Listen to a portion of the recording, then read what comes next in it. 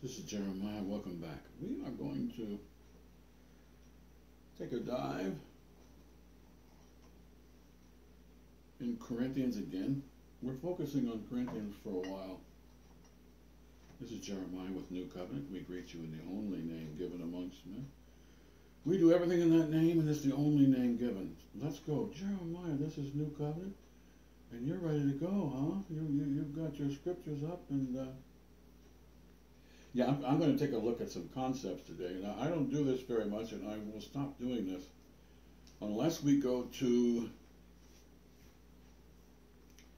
57 in this ministry, um, which I'll probably have 57A, 57B, or something, uh, where we have the April matrix. The April matrix is the key lesson that I have available whereby you can take a look at Christianity from uh, from a very comprehensive view. So, and I'm very happy with that. It kind of came spontaneous. Uh, obviously, the Lord helped me work on this. It's His work. It's His word. It's uh, I didn't write the Bible, so I'm just enjoying it with you. Jeremiah. We lift up our hands unto thy name. God inhabits the praises of his people. Let's praise him. Praise you, Father. We bless you, Jesus. We bless the Lord and all that is within us, and we forget none of his benefits. He does not reward you according to your sins,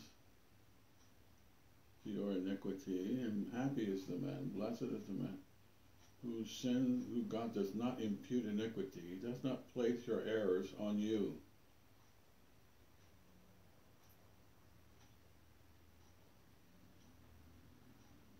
Dinah, just as if you never sinned.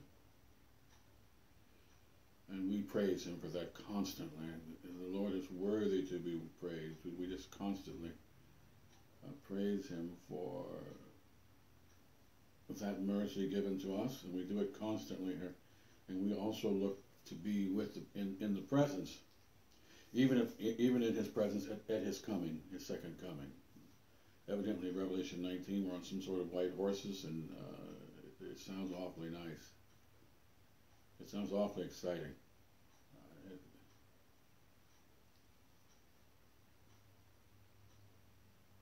the wonderful Revelation 19, which is good stuff. You know, uh, this ministry focuses on the good stuff most of the time here. We, we I, I have a lot of videos available for you know talking about uh, the Quran or something or you know demonic witnesses and all this stuff is very negative. It, it's sickening, uh, but but it's part of Bible study. But for the most part, with me, it's kind of sickening. I, I really don't want to talk about the beast or something ugly, something stinky. You know, I, I really don't want to do it that much. It, it's it's uh, we're all basically reluctant. That's why Paul said we groan. You know, we hold our nose around here. I just saw a politician uh, on the on the on the web last night. He, he, somebody somebody said they caught him doing something or something, uh, and he said, "Do you have any evidence?" In other words, he's laughing at us.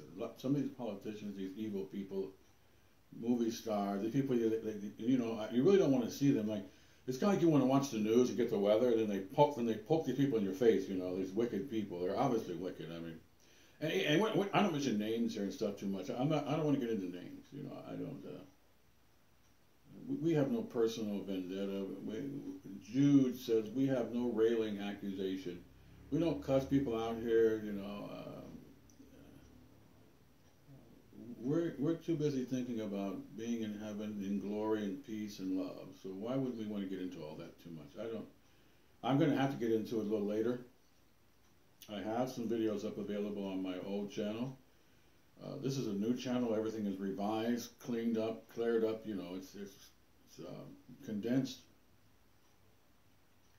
And we're going to get into uh, Corinthians, where, where I'm going to take a peek at a few concepts that Paul talks about as we as we get ready for law and grace, and this is going to be part of my um, a component of my new lesson on law and grace. Now, law and grace will probably fall under number two in this ministry, which is called sound doctrine, or, or I'll probably give it a separate category like 56A or something. Okay, um, as we add, we I don't want to add too many more uh, playlists to this ministry. I don't want to add too many more videos. Period. So um, we're, we're really into heavy precision right now, where everything is precise.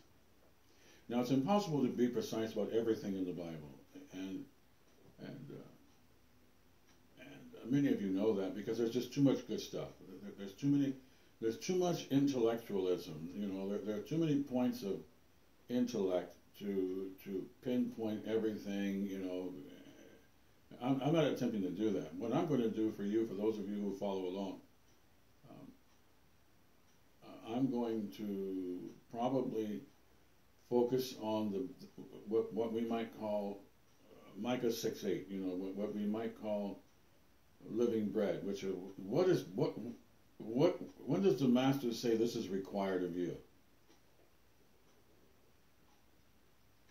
Okay, that's what I'm going to do here.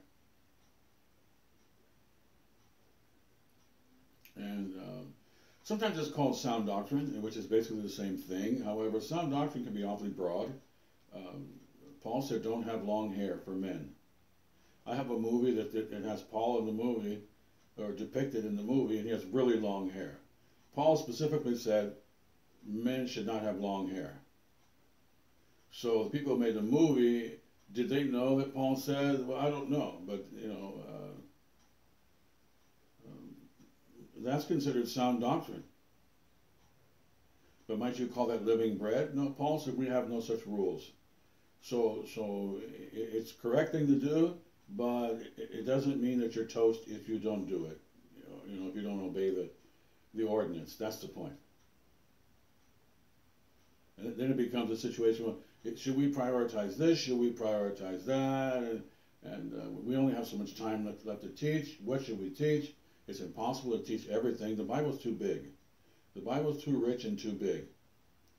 It's like going to a smorgasbord or, or a gourmet dinner or something, and there's too much food. You can't eat it all at one time. You, you, you have to select things, and that's it.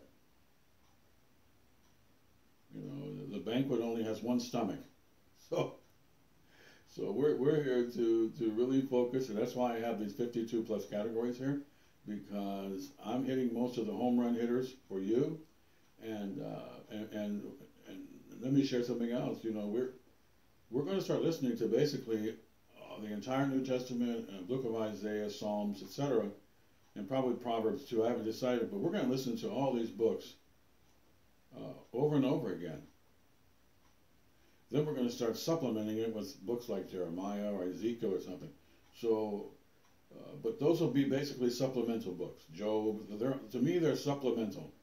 Now, maybe Genesis might be required kind of here, um, but I'm going to select chapters that I think are uh, germane to what's required. So, uh, and that's not going to be easy because it's uh, all of it's good. So, uh, however, we will repeat things like this Corinthians uh, letter here, both of these letters, Corinthians 1 and 2, we will, we will repeat them five times a year. You know, if the Lord doesn't come back within a year in the rapture, because I anticipate being accounted worthy to escape all seven years of what's getting ready to happen. I hope to. We, we pray constantly that we are accounted worthy to be five of the ten that are poofed out of here. We just looked at that in Corinthians once again. Corinthians is ginormous. It's it's got rapture in it. It's got my it, geez, uh, those two letters, Corinthians one and two. Uh, in many ways, it's the heartbeat of your Bible. Just no, there's no question about it. You know, uh, those two books are just they're too long and too informative. Um, you know, they're, they're like the body of the letter. So um, let's let's get going as we just rejoice together with you and having Bible study again. It's another day. Uh, many of you know uh, this ministry. We, we, we, we get into the Bible almost every morning. Uh, there, what else is there to do? I don't know of anything else to do. So uh, for me, I mean, we have, um, as I just stated, we have those uh, germane, you know, main texts that we're going to use here, and, and I think that it is very beneficial for us to focus on the book the book we're in right now. And And, and the next step is law and grace. Now, I'm, like I said, I'll probably make law and grace 56A or something. I haven't decided. But law and grace will probably have its own lesson, which is where Paul starts talking about the Old Testament compared to the New Testament, and and uh, what's the difference, and what's you know what's the same, you know, compare and contrast. So there's a lot of work there, and I I, I have a lesson on that um, but I, I put it away because I, I'm going to re, I'm to recalibrate. You know, I'm going to have to go through it all over again, and um, you know, it's going to be a labor of love. It's going to be denial. It's going to um, uh, denial is not just a, a, river in Egypt, as they say. But uh, we we have a lot of work here, and uh, there's denial involved. There's sacrifice, and it's a sacrifice of praise. So that's what we do here, and. Uh, and uh, it's easy to sacrifice when you love the person you're sacrificing for. You know, love. Somebody told me years ago, love doesn't pay the bills. That's the that's that's one of the dumbest things I've ever heard. That's exactly what pays the bills. that's that's exactly what cooks the food. You know, that's exactly what does everything in the church. And, and the people who are saying that are Babylonians and, that's a sad thing about being surrounded by people who are confused, those who enjoy bitterness and enigmas, you know, and um, we're here to help people to get them out of enigmas, you know, the, those captives, set those captives free, you know, and I've got that river of life where I can set these psychologically psychotic people free.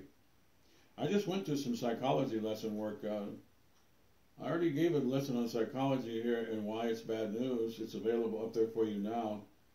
Uh, I put that in the 50s somewhere. I forgot the 54 or something, but anyway. Um, and that, that's my Babylon lesson. I might have put it under 32. 30 is everything that's wrong, you know, and uh, hamartia. It's where people miss the mark. It's, it's where people are in the dark. It's where people are deceived. It's, it's where people are condemned and so forth. So uh, that's a big category. Uh, I, I, break the category down. In 53A, I gave you um, uh, 30 means the dirty, you know, the, the filth, the trash, the lies. That's what 30 stands for. However, I put 53A or so um, with the Quran, which is just unbelievably, unbelievable garbage. That, that, that book is, is just it, it, is just uh, profusely um, uh, horrible. It's yeah. Ah, but anyway, let, us let that go for now. Now, Jeremiah, you're on fire. We're in Corinthians. That's correct. A lot of Corinthians right now. Uh, I'll probably take a break on Corinthians and the Book of Acts because I have both of those books waiting for me here. I'm going to have to bounce around a little bit because I'm going slower than I planned because I really want to get into reading. And what we'll probably do is read a couple of chapters, and then I will uh, later on uh, today for me. And uh, let, us look at uh, um, law and grace. I'm going to give you a peek into law and grace. Paul's going to mention it, and I'm not going to look at him too much right now. What I want to look at are the concepts. Okay, we're going to do some vocabulary contextualization right now. What, what, what are these concepts of law and grace? I'm going to talk about it for a couple of minutes, and I'm going to move on. And uh,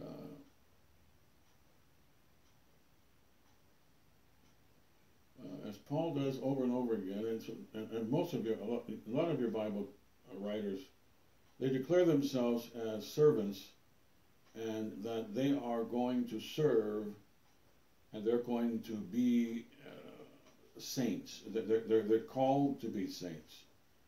And saint means holy ones. So in, in Protestantism, everybody who's a Christian is a saint. America has been inundated with Catholicism and a bunch of garbage.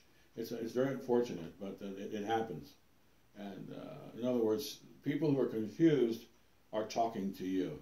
Uh, I, I, have lots of classic movies, a lot of war movies that I really enjoy, but, but, but what is really sickening is when they keep inserting acute mental retardation biblically in my face. And uh, um, I'm very tolerant, but the point is, is that uh, I can see the devil trying to creep his, his, his, his, ugly self into the doorway, you know. And the thing is, is that he does it in these movies, you know. We're wandering along, all of a sudden, some guy kneels before another man. You know, I have a very good docudrama on Cortez, Hernan Cortez, and his lady friend, the the Indian woman, and so forth, and uh, and uh, about 1500 so he goes to Cuba, then he goes to the Yucatan Peninsula there, and uh, and uh, one one of the guys kneels down before a priest, you know, and it's it's about one of the most sickeningest things I've ever seen. It, it's we Protestants, you know, we, we, as my buddy used to say, we don't play, you know, and and, uh, and these people who, who who come on like they're normal and so forth, and in many ways they are normal. Some of these actors, some of these people, they're they're they're, they're what you might call decent people, but however, they're they're they're delving into a realm that they don't know that is poison. You know, that goes for these screenwriters, that goes for these actors. I had one movie I kind of liked a little bit about two people who were engaged who broke their engagement. You know, oh, we fell in love or something, whatever. And uh, and the movie was done fairly well. You know, um, the pretense of the movie ruins the movie because they were engaged. Okay, why don't you stick to your commitment? You know, and, and they were being very frivolous about it. And, and uh, to me, it's a little distasteful. I know it happens, and we're not going to freak out behind it.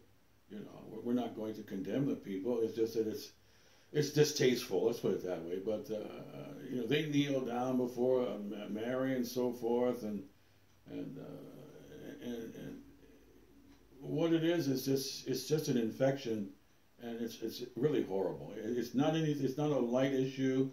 You know, it's not something that is. You know, the actors should have never, uh, if they're Protestants, you know, um, the original 13 colonies here are quite, was it 13? I forgot how many. It was at 18, 1760.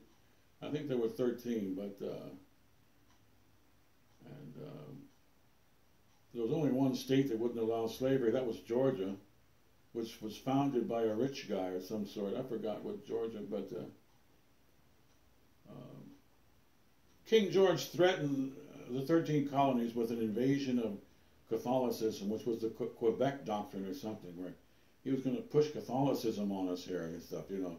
And Catholicism was very weak in the mid in the Midwest because the French were all the way down to Mississippi River to New Orleans and so forth, up from Canada.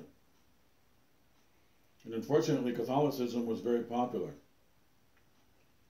um, amongst the French and so forth. And the 13 colonies were not really involved, and they, they didn't want Catholicism and they were uh, William Penn followers, and they were enlightened, you know, that uh, on many biblical accounts, you know, that, that they basically viewed Catholicism as garbage because that's exactly what it is. And what, what the point is, is that uh, they were tolerant of, of it because uh, Washington, D.C. was purchased, the White House was purchased from a Catholic fella and so forth. So the, Catholicism has always been sprinkled in the American fabric, but the more popular it gets, the sicker the place goes, and that's very unfortunate. A lot of Latin countries have adopted Catholicism, and, and it's just horrible. It's just been one big disaster for South America and so forth. Central, it's just been an absolute disaster. Uh, because when you disobey the Ten Commandments, it can't. It, it's not going to go good for you. I, I, don't care who you are. I don't care how nice you are. And uh, and unfortunately, the fabric of America was infected, and the movies too. So and it just ruins movies. It, it, you know, um, where where and, and the politician, the I'm sorry, not the politician. The movie stars, whatever they call themselves, you know, the, the actors is probably a better word. I mean, uh, there's only one star. That's Jesus, the morning star. But uh, you know, they, these people, they're they're uh, they're pretending to be somebody they're not, of course. But the thing is, is that they, uh, you know, if if you're if you're a Protestant, you know, and and, and you get a script that tells you to kneel down and worship a woman flying across the room, you know, and and praise her or something like that, and, and you and you take the script, you you've just demonstrated that you your soul your soul is in dire trouble. And we hope that we hope that these actors are saved or something, that they went back to being Protestants or something. Um, Uh, that's not my point. Uh, but you, you, you're entering into a realm that you should have never, especially you who are enlightened. That's the point. You know, Americans are supposed to be enlightened. You know, you're supposed to be intelligent and you're supposed to be wise. And, and, and hopefully, uh, you know, the, the bread basket of America is, uh, is generally wise. And, and that, that's why George threatened uh, the colonists with some sort of you know Catholic invasion of some. So I forgot what the what the doctrine was, but they, they knew how to they, they knew how to get our attention here. You know, we we we Quakers. You know, they knew that uh, that uh, we knew that it was bad news. You know, that this whole Mary scrape your knees on the ground asinine behavior. You know, uh, mental retardation on steroids. You know, and, and this is what separates us Protestants from the world is that we we are hated by the world because they love lies, and so uh, we don't love lies. We don't embrace lies, so we're hated by the world. John said, "Don't be surprised if the world hates you." So we're, we're not surprised if the world hates us. If somebody over there likes a lie and, and you teach the truth, they're not going to like you because they know who you represent, Jesus Christ and the truth and they love murder, they love lies, they love stealing, and, and, and they love doing wicked things, and then you come along and, you go, I don't, I don't want to worship a woman flying across the room, and I don't want to scrape my knees on the ground to be saved. I don't. When you get that asinine behavior out of my face, and then and they, they and they're like, oh, we, this is the way we roll. You know, this is our Council of Trent. You know, they had that couple of famous meetings in, in, in Europe you know, years ago, you know, 1500, 1600, whatever year that was, they had the, the Council of Trent, where all the Catholics got together and said, let's organize ourselves, you know, and, and let's get our doctrine together, you know, you know, uh, uh, let's let's become more popular, you know, the, you know, the uh, the Reformation and all this, you know. All they're doing is re reforming garbage.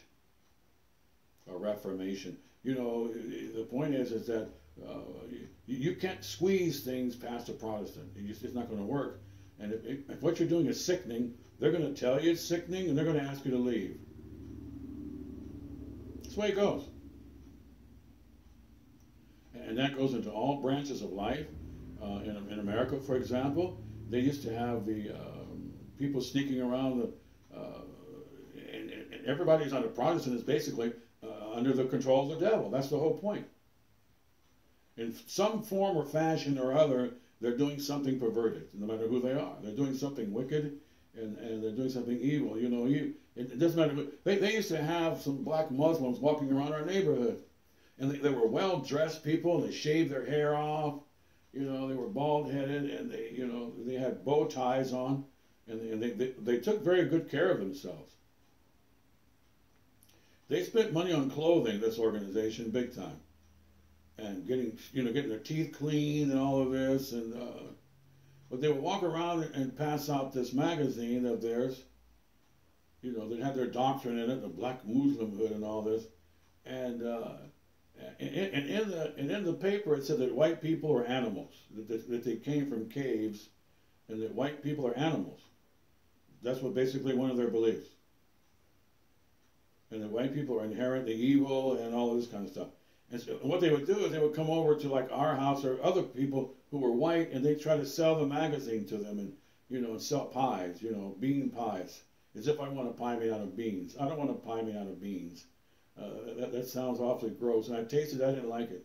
But they, they try to push those bean pies on you, you know. You want a bean pie, bro? You know, I don't want a bean pie, dude. Get lost. You know, uh, get out of here. White people are not animals in caves in Europe, and you, you basically, you know, you're thinking to yourself, you're an idiot. Get lost. You know, I, I don't, I don't want, I don't think you're cool. You know, I, I you know, you know, they're kind of like infiltrating. You know, they'll, they'll even sell their, their magazine to white people and stuff. You know, they, you know, they walk up to white people and smile at them. You know, hi there, Cindy. You know, whatever. You know, they because they have to be known in a, in a small town. You know. I was I lived in a relatively small town, relatively.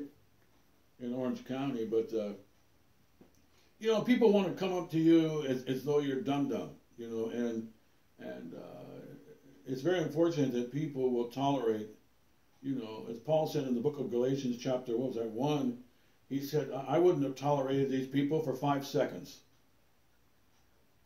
See, see, you're not, you're not supposed to tolerate people who are evil and liars in your face. You're supposed to ask them to leave, or you're going to leave. You know, if they're presenting something to you, uh, John said, don't even don't even wish them Godspeed. You know, basically talk to them at all when they come to your door. Talking to the women in John, uh, Second John. He told the women and everybody else who's listening, if, if, if these devils come to your door, don't wish them Godspeed. Just slam the door in their face. Shut the door. These people are from hell. And, and the thing is, is that, you know, you, you, you have to be careful that you're not mean to people per se, but the bottom line is, is that if someone's coming to get you, you need to tell them they can't get you and split. You know, it's, it's like entertaining, you know, uh, a shark, you know, in the, in the, in the ocean. That's your fault. You know, don't entertain the shark. I mean, so, uh, but we're, we're, we're not going to fall for any of this. Uh, uh, um, you know, when you when you love Jesus Christ, and we're here to love the Lord with all of our heart, and and to study and to be attentive and listening to instructions, as Solomon says, then you, you, you should be okay. So when these evil entities come your way, you go snap, crackle, pop, get lost. I, I know, I don't want it. You know, a lot of these people are snatching souls and, and they're condemning people and they're recruiting hell. That's what they're doing. As the master said, they go out and make a proselyte twice the son of hell as themselves. And that's recruitment. Fortunately for, fortunately for me, I had Quaker parents, more or less. And, uh, and, and I was warned and instructed. And when I ran into uh, confusion, I was able to discern it, and I was circumspect and, and um, sharper than any two-edged sword to discern the thoughts and intentions of people who, who want to hang around.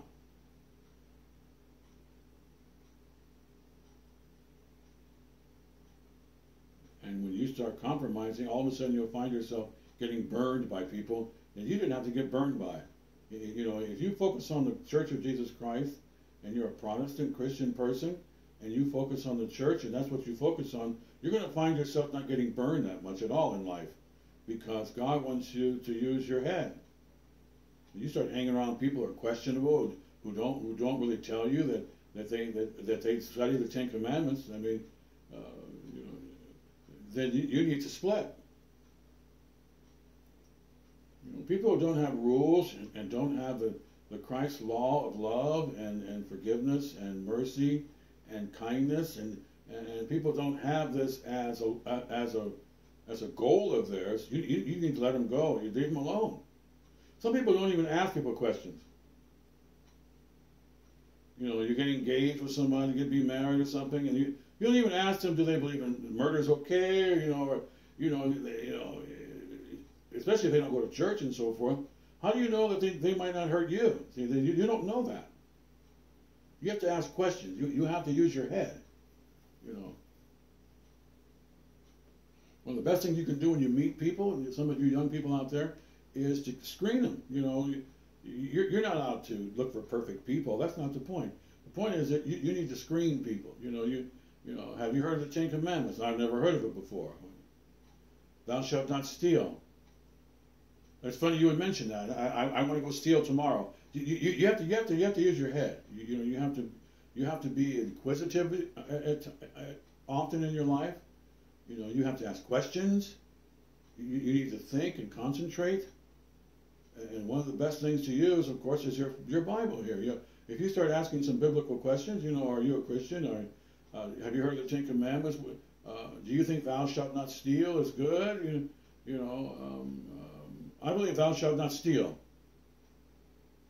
And, if they're thieves, you can look on their face and pretty much tell that they don't like what you just said, so that means you leave them alone. Okay, it's very simple. I've had people call me recently. They tell me they don't know what they're doing. You know, they tell, I don't know what I'm doing. I said, well, listen, you called the wrong place to tell me you don't know what you're doing. The first thing you should have told me was that you want to share God's love or something. You know, you know, you, you, I don't, I don't talk to vegetables. You know, we, we love vegetables, but I don't really talk to you. I don't talk to people who don't know what they're doing. You know, you, you know, you're supposed to know that you're out to love mankind through Jesus Christ. Okay, you should know that and you should articulate that. You know, if you don't articulate that, then we really don't need you. You know, because, you know, you haven't made a commitment to do the right thing and you've been exposed to it for, you know, I don't know how many years. If you talk to somebody that's 50 years old, 60 years old, and they live in the United, the United States, and they talk to you and they don't tell you that their goal is to, to love people and, and to spread the gospel and truth, then you need to probably leave them alone. That's the point. Because they've got uh, ample opportunity with no excuse to, to focus on talking, I'm out to love, love my neighbor. So you're, you're, dealing with someone who's acutely mentally retarded, and, and it might be a good idea to leave, leave them alone. That even goes for your young people, you know, out there. Blessed is the man who sits not among scoffers. Psalm number one. You know, people who people who people who don't focus on on, on righteousness and teaching righteousness and and uh, and agape love of forgiveness and and mercy to people and kindness and denial for the benefit of others and, and, and you just dump them just, you know if, if they don't seem that like that, that they're going in that direction you, you you need to pray and think some of you young people out there. One of the best decisions I ever made in my life was to leave town like Abraham and start all over again. I did exactly what Abraham did. I'll be right back. Maranatha.